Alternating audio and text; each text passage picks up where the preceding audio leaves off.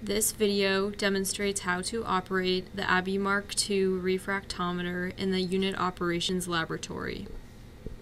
Refractometry is an analytical technique by which the concentration of a substance in an unknown liquid sample can be assessed.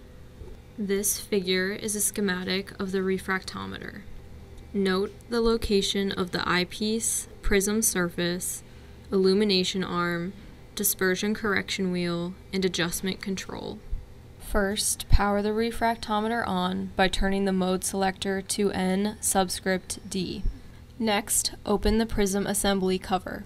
Clean the measuring prism surface with isopropanol and then with DI water. Wipe the surface with a Kim wipe. Do not wipe the measuring prism surface while it is dry. Any residue left on the prism can affect the accuracy of the readings. Then, apply approximately 1 milliliter of a solution to the measuring prism surface using a plastic transfer pipette. The solution must cover the entire prism surface in order for the refractometer to provide an accurate refractive index reading. Close the prism cover and position the illumination arm above the prism cover so that light may pass through the glass prisms and the solution between them. Next, Place the crosshair adjustment access hole at the 6 o'clock position by adjusting the dispersion correction wheel.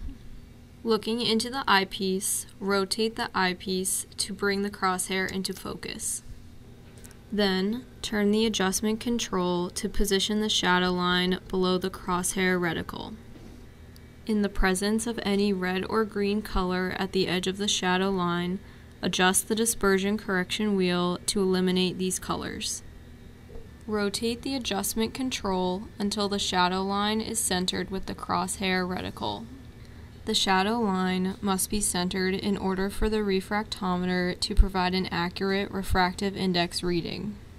Now, depress the read button to obtain the refractive index reading for the solution. This reading will appear digitally on the display window of the refractometer. Once the refractive index has been recorded, Remove the solution from the measuring prism surface with a Kim wipe.